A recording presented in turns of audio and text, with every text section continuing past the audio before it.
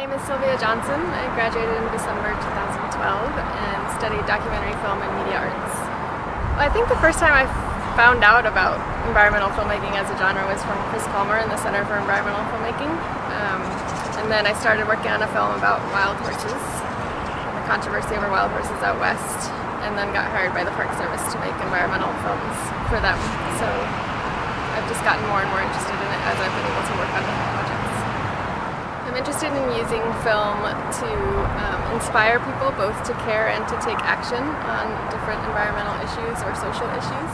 Now, what I'm most interested in is sustainability and how humans um, interact and coexist with their natural environment. I'm also really interested in, in animals and um, animal health and the, and wildlife.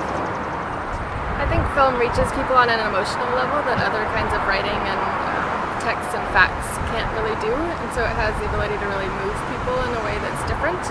And I also think it's much more accessible in today's world. There hasn't um, video and visual storytelling is how people are consuming information